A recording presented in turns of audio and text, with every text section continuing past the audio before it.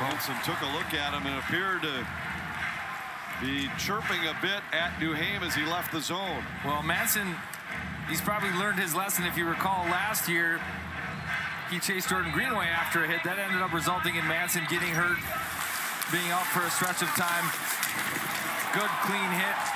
Strong forecheck from Duhaime.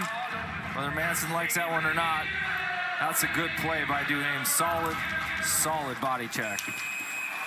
And now Carrick drops the gloves with Duhaime.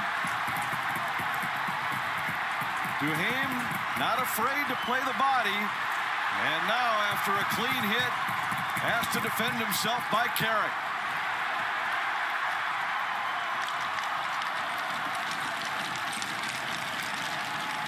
Well, I think this is this is what confuses hockey fans.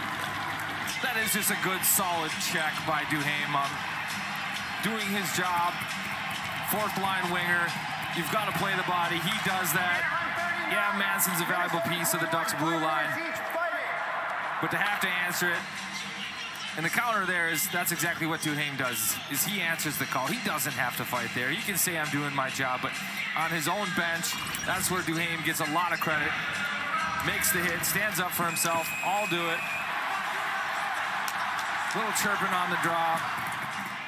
But that's why the teammates respect and love this situation. You've got a guy out there playing physical, but not afraid to stand up for himself. I think the two points you made are both interesting. One, he's willing to stand